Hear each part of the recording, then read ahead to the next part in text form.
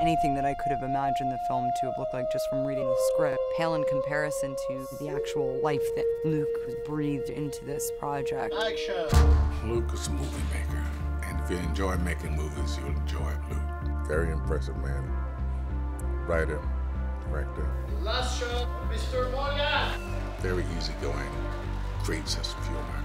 I think he could produce financially his films on his own, but I think he likes having someone with an exterior eye that can come in, give him points of view. I think we're a good team. The most interesting thing about working with Luc is that he's the cameraman. He's a director that knows precisely every little atom on his frame.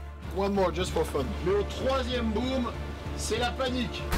He's a formidable type of character because he knows what he sees in his mind and wants that vision to be executed perfectly. And you can see that in the way that he operates the camera and how he speaks with myself and the other actors. But I appreciate that in a director.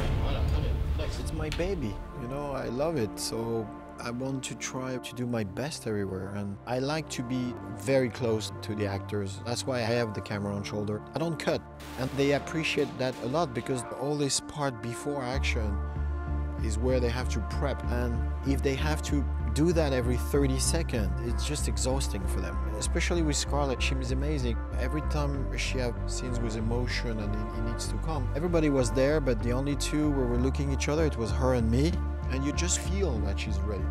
And you just want to be here for her. You just want to say, oh, she's ready, let's go. I don't feel pain, fear, desire. It's like all things that make us human are fading away. All this knowledge about everything. I don't know what to do with it. I'll be at your door in 12 hours.